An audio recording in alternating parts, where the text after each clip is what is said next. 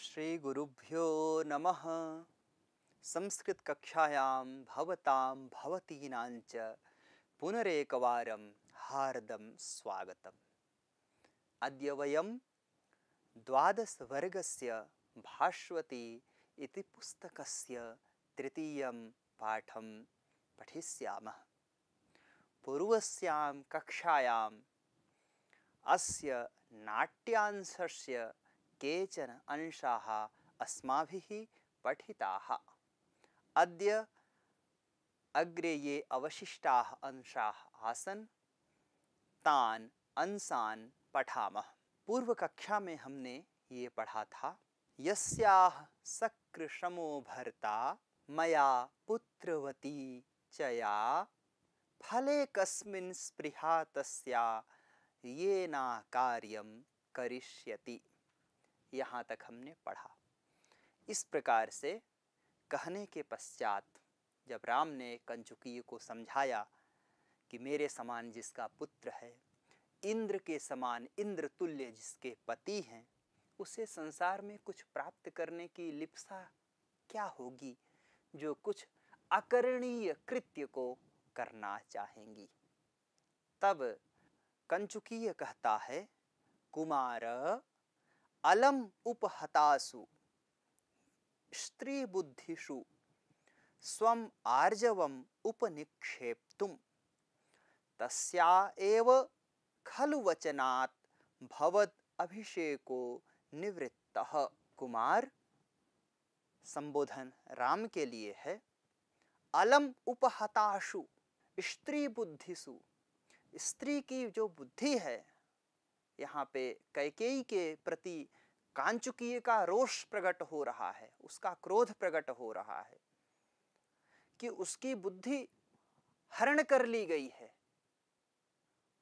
उसके पास अभी सद विवेक नहीं है, और स्वम आर्जवम उपनिक्षेप्तुम। रिजुताया भाव आर्जवम। जो रिजुता है, सरलता, रिजु का अर्थ सरल होता है।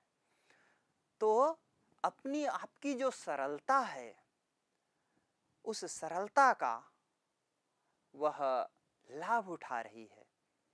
आप अपनी सरलता के द्वारा उसकी उपहृत जो बुद्धि है, हरण कर ली गई जो बुद्धि है, उसको ढकिए मत। उस पर आरोप मत करिए। ऐसा कह रहा है कांचुकीय। फिर कहता है, तस्या एव खलु वचनात्। उसी के वचनों के द्वारा भवत अभिषेको निवृत्त। आपका जो राज्याभिषेक होना था, वह निवृत्त हो गया, हट गया, टल गया।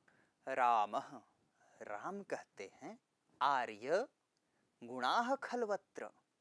अर्थात, हे आर्य आर्य शब्द संबोधन है।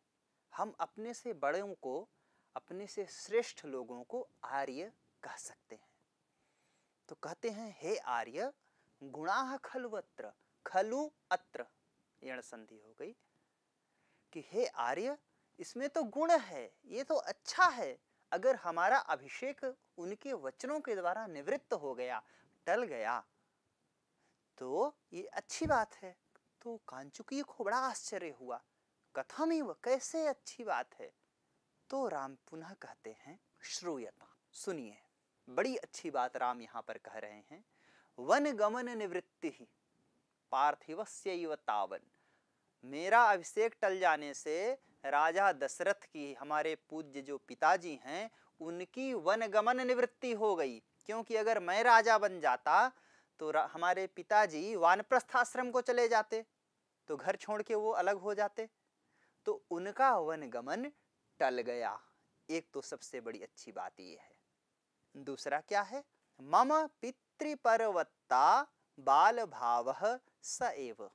तो कह रहे हैं, मम पितृपर्वत्ता सुस्थिरा भविष्यति। हम पिता के अधीन ही कार्य करते रहेंगे, ये हमारे लिए एक बड़ा अच्छा भाव बना रहेगा, बड़ी अच्छी स्थिति बनी रहेगी। इसके कारण बाल भाव स एव। उनका जो बाल, मेरे प्रति जो बाल भाव बना है, मैं उनका बालक हूँ तो मैं अपने कार्यों को स्वतंत्र रूप से करता रह सकूँगा। तो अगले क्रम में कहते हैं, नव नृपति विमर्शे नास्तिक शंका प्रजा नाम। जैसा राजा होगा, प्रजा वैसी ही होगी।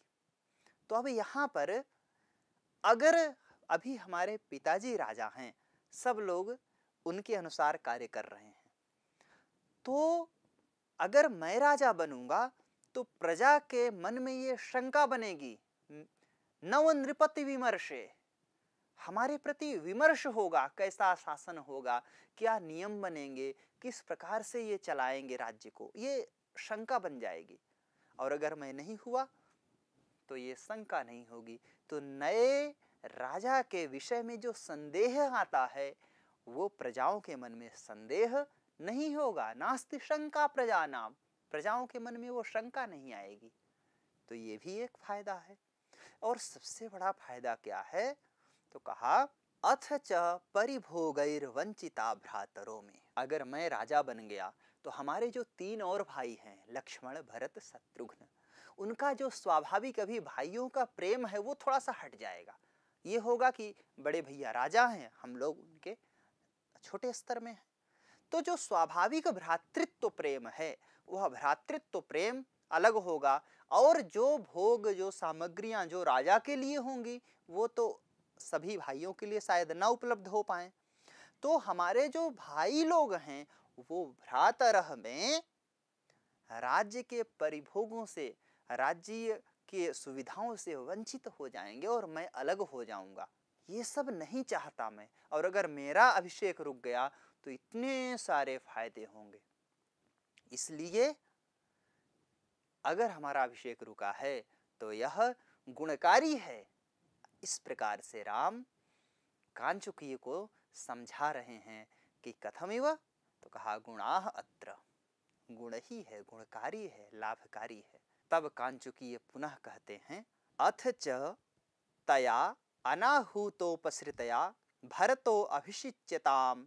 राज्य इत्युक्तम अत्रापि अलोभ, न आहूत, अनाहूत।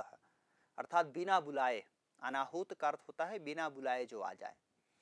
तो अनाहूत और उपसृतया, उपसमीपे श्रिता या, सा, उपसृता। बिना बुलाए अगर कोई पास में आ जाए तो अनाहूतोपसृत कहा जाएगा और अगर स्त्री है तो अनाहूतोपसृता। तया अनाहूतोपसृतया जो बिना बुलाए चली गई थी। कैकेयी दशरथ के पास बिना बुलाए गई थी कि मुझे वरदान दो। भरतो अभिषिच्यताम। भरत अभिषिच्यताम। भरत को अभिषेक करो। राज्य इत्युक्तम। किम? अत्रापि अलोभ। क्या यहाँ पर भी उसका अलोभ है? इस प्रकार से कंचुकी यह पुनः प्रयास करता है कि राम को कैकेयी के विरुद्ध बोलने के लिए विवश किया जाए। जरा सुने, राम इस पर क्या उत्तर देते हैं? आर्य, भवान खलु अस्मत् पक्षपातादेव नार्थम अवेक्षते।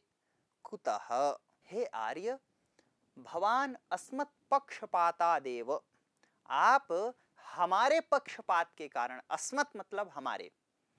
हमारे प्रति आपका पूर्वाग्रह है, आपका हमारे प्रति कुछ विशेष प्रेम हो सकता है, जिसके कारण ही आप न अर्थम अवेक्षते जो यथार्थ है, जो सत्य है, जो होना चाहिए, उसको आप नहीं देख पा रहे हैं।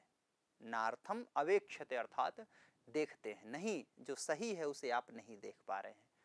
क्यों? मैं बताता हूँ। राम इस बात को पुनः कहते हैं और ये बतलाना चाहते हैं, उन्हें बताते हैं कि किस प्रकार से कैकेयी अगर राज्य भरत को देना चाह रही हैं तो वो भी गलत नहीं है। क्या कहा उन्होंने? शुल्के विपणितम राज्यम पुत्रार्थे यदि याच्यते, तस्या नास्माकम भ्रातृराज्यापहारिणाम। शुल्के विपणितम राज्यम शुल्क में प्राप्त किया हुआ जो राज्य है। ऐसा कथानक है कि जब कैकेयी का विवाह हुआ था तो वहाँ पर यह वचन दिया गया था। राजा दशरथ ने कहा था कि इसी का जो पुत्र होगा, वह राज्य का उत्तराधिकारी होगा, वो राजा होगा। तो शुल्क विपणितम राज्यम विवाह के समय ये वचन ले लिया गया था। तो अगर शुल्क के रूप में खरीदा गया या प्राप्त किया हुआ जो राज्य है, वह कह के, पुत्रार्थ यदि आच्यते, पुत्र के लिए यदि मांग रही हैं तो इसमें गलत क्या है? सही है।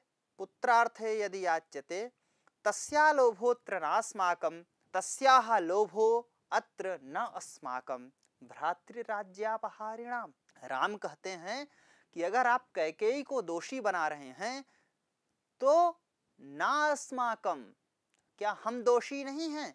भरत का राज्य हमें दिया जा रहा है। तो क्या हम दोषी नहीं हैं?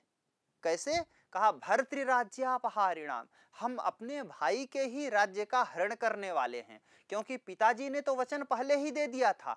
तो यह राज्य भरत का ही है, और भरत को ना देकर अगर हमें अभिषेक किया जा रहा है तो हमारा अभिषेक यह भाई के राज्य का हरण करने वाला है। तो अगर आप कैकेयी को दोषी मान रहे हैं जो राज्य कैकेयी ने पहले ही प्राप्त कर लिया था। तो मेरी क्या गति है? हम तो वैसे भी भाई के राज्य के हरण करने वाले हैं। तो दोषी कौन है? कैकेयी या हम? अब कंचुकी चुप हो जाता है। कंचुकी कुछ और कहने जा रहा था। तब तक राम ने रोक दिया। बस, अतः परम न मातु परिवादम श्रोतुम इक्षामी महाराजस्य वृत्तांतस तावत अभिधीयताम। अतः परम इसके और अधिक मातु परिवादम माता की निंदा न श्रोतुम इच्छामी, मैं सुनना नहीं चाहता हूँ। आप बस कीजिए। और महाराज से वृत्तांतस्तावत अभिधीयताम। महाराज का वृत्तांत बताइए। राजा की स्थिति क्या है? महाराज क्या कर रहे हैं? उनके समाचार, वृत्तांत का अर्थ है समाचार। महाराज का समाचार आप हमें बताइए, माता की निंदा बंद करिए। इस तरह से राम ने कड़े शब्दों में कांचुकी को डांटा। तब कंचु कांचुकी कहता है, ततः तदानीम उसके बाद दशरथ की स्थिति क्या होती है? राजा की स्थिति क्या होती है? इस श्लोक में कहा, शोकात, अवचनात् राज्ञा हस्ते नैव विसर्जितः, किमप्यभिमतं मन्ये मोहम च नृपतिर्गतः। शोकाद अवचनात्। शोक के द्वारा इस प्रकार का जब वचन कैकेयी ने कह दिया तो राजा शोक में चले गए, दुखी हुए। उस शोक से युक्त होने के कारण अवचनात् कुछ बोल नहीं सके। हाथ के द्वारा संकेत करके ही हमें भेज दिया। आपके पास। और किमपि अभिमतम मन्ये मोहम च नृपतिर्गत। उन्होंने अपना अभीष्ट, जो उनकी इच्छा थी, क्या इच्छा? राम को यह संदेश देना, राम को बुलाना, कि राम तक ये सूचा, सूचना दी जाए। यह जो अभिमत था, वह हमें संकेतित करते हुए, और नृपति ही मोहम गतः, जो राजा हैं, नृणाम पति ही नृपति ही वह मोह को चले गए, अर्थात मूर्छित तो हो गए, बेहोश होकर के गिर पड़े। राम कहते हैं कथम मोहम उपगत? अरे अरे, क्या मोह को चले गए, मूर्छित तो हो गए वह? बेहोश हो गए हैं, तब तक नेपथ्य नेपथ्य से आवाज़ आती है। नेपथ्य वह स्थान होता है, जहाँ नाटक का मंचन होता है। उसके पृष्ठ भाग में जहाँ साज सज्जा इत्यादि स्थान होते हैं, जहाँ पे अभिनय करने वाले पात्र तैयार होते हैं, वह स्थान नेपथ्य कहा जाता है। नेपथ्य से आवाज़ आती है। क्या आवाज़ होती है? कथम कथम मोहम उपगत इति। यदि न सहसे राज्ञो मोहम धनुष्पृश मादयाम। इस प्रकार की कड़क आवाज़ सुनाई पड़ती है, जिसका अर्थ है कथम मोहम उपगत। क्या? मूर्छित हो गए, मूर्छित हो गए। ऐसा। और यदि न सहसे राज्ञो मोहम अगर राजा का मोह नहीं सह सकते, राजा की मूर्छा तुम्हें वास्तव में कष्टकारी लगती है तो धनुष को पकड़ो मादयाम धनुष का स्पर्श करो। धनुष्पृश दयाम मास्पृश दया छोड़ो और धनुष धारण कर युद्ध के लिए तैयार हो। ऐसी आवाज़ आती है। राम धीरे से सुनते हैं कान लगाकर कि आखिर ये आवाज़ कैसी है? तब तक समझ करके राम कहते हैं, अक्षोभ्य क्षोभित केन लक्ष्मणो धैर्य सागर येन रुष्टेन पश्यामि शताकीर्णमिवाग्रतः। अक्षोभ्य, जो क्षुभित नहीं होता, जो कुपित नहीं होता जो कभी क्रोधित नहीं होता, उसे कहते हैं अक्षोभ्य यहाँ उसे कहा गया है। तो केन क्षोभित? अक्षुभित होने वाला उदाहरण के तौर पे समुद्र है जिसे कहा जाता है। समुद्र कभी कुपित नहीं होता। सभी नदियों का जल उसमें जाता है। बहुत सारा ढेर कचरा उसमें डाला जाता है। लेकिन वह अपनी मर्यादा में रहता है। कभी मर्यादा नहीं तोड़ता। अगर नदियों की भांति कभी समुद्र मर्यादा अपनी तोड़ दे तो क्या होगा उसकी कल्पना करना शायद परे है, कल्पना नहीं कर सकते। तो उसे अक्षुभित होने वाला माना गया है। यहाँ लक्ष्मण को कह रहे हैं कि लक्ष्मण भी धैर्य के सागर हैं। तो धैर्य सागर के न अक्षोभ्य लक्ष्मण क्षोभित। अक्षोभ्य जो लक्ष्मण है, उस अक्षोभ्य लक्ष्मण को कौन क्षुभित कर दिया, कौन क्रोधित कर दिया भाई? लक्ष्मण तो क्षुभित नहीं होते, बड़े शांत हैं। लेकिन अगर ये कुपित तो हो गए तो बड़ा कठिन है फिर क्रोध से बच पाना। यही बात राम कह रहे हैं। ये न रुष्टे न पश्यामे, जिसके रुष्ट हो जाने के बाद मैं सोचता हूँ, मैं देखता हूँ, मैं ऐसा मानता हूँ शताकीर्णमिवाग्रत। सैकड़ों लोग अगर क्रोधित तो होकर सामने खड़े हो जाएँ, उस प्रकार से लक्ष्मण अगर अकेले क्रोधित तो होकर के सामने खड़े हो जाएँ, ऐसा, अर्थात सैकड़ों लोगों से ज़्यादा बल से व्याप्त जो लक्ष्मण है, वह अकेला अगर क्षोभित तो हो जाए, क्रोधित हो जाए, कुपित हो जाए तो मैं ऐसा मानता हूँ कि लक्ष्मण के कुपित हो जाने पर सैकड़ों लोग सामने खड़े हैं कुपित होकर के। इस प्रकार से हमने इस पाठ को पढ़ा। इसके आगे के क्रम को हम अगले एपिसोड में पढ़ेंगे। और इस एपिसोड में हमने जो पढ़ा है, इनके शब्दार्थों को भी हम देखेंगे और इससे संबंधित प्रश्नावली को भी हम पुस्तक के इस अभ्यास भाग में देख सकते हैं। और इसका उत्तर पढ़े हुए पाठ्यांश से हम ढूंढेंगे। पढ़े हुए पाठ्यांश को अपने भावों में व्यक्त करना बहुत ही महत्वपूर्ण होता है। तो हम यह प्रयास करेंगे कि हम अपनी भाषा में, सरल संस्कृत में इन भावों को कथानक के रूप में लिखें और लिखने का अभ्यास करें। तो आज के लिए इतना ही। इससे आगे का पाठ हम अगले क्रम में पढ़ेंगे। तब तक के लिए धन्यवाद।